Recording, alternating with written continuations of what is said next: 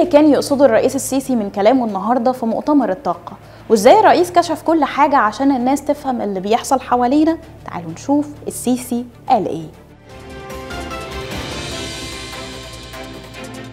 بانكير نبض البنوك.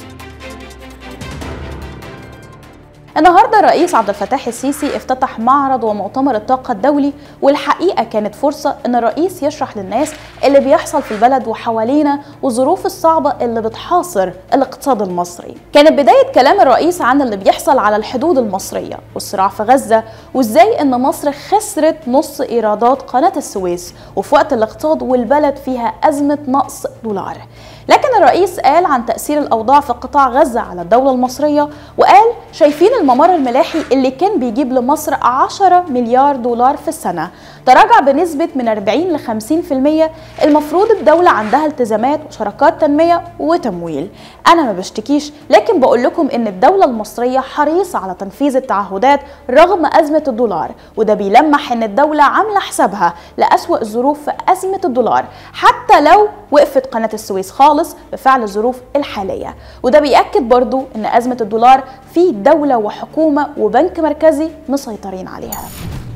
السيسي اتكلم كمان عن نزيف المليارات في عصر مبارك وما قالش اسم مبارك صراحة علشان الرئيس مش معروف عنه إنه بيهاجم الرؤساء اللي قبله بالاسم أو لشخصه لكن بيهاجم السياسات الغلط في عصرهم واللي كانت السبب في تأخر مصر سنين طويلة وضياع فرص عظيمة كان ممكن يتم استغلالها لولا سوء الإدارة والتخطيط وتعطل الفكر في الأنظمة السابقة واللي كانت عايشة اليوم بيومه مفيش خطط للمستقبل وده ضيع على مصر حاجات كتير كانت ممكن تتعمل. قال السيسي كنا فين وبقينا فين.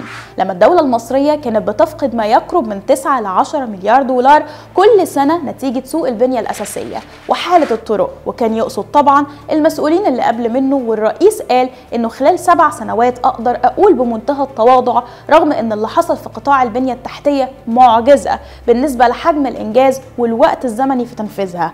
قال الرئيس قدرنا نتغلب على المشكلة دي لكن صرفنا فلوس ضخمة جدا ولولا مشروعات البنية التحتية العملاقة. كان زماننا بنعاني أكتر وأكتر لأن مفيش نهضة وتنمية واستثمار من غير بنية أساسية.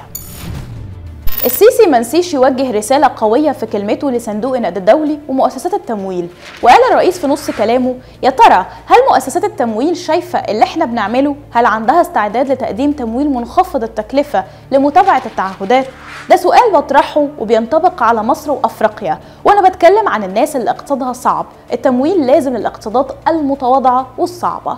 وكان تلميح الرئيس عن الشروط الصعبة اللي الصندوق وغيره من المؤسسات الدولية للتمويل بيفرضها على الدول. وزي ما إحنا عارفين إن مصر داخلة في تفاوض من سنة تقريبا على استكمال قرض ب 3 مليار دولار رغم قدرة مصر على سداد بشهادة الصندوق نفسه وبنوك عالمية. لكن الصندوق حاطط شروط صعبة منها تعويم الجنيه والغاء الدعم ودي الشروط الصعبة اللي اتكلم عليها الرئيس.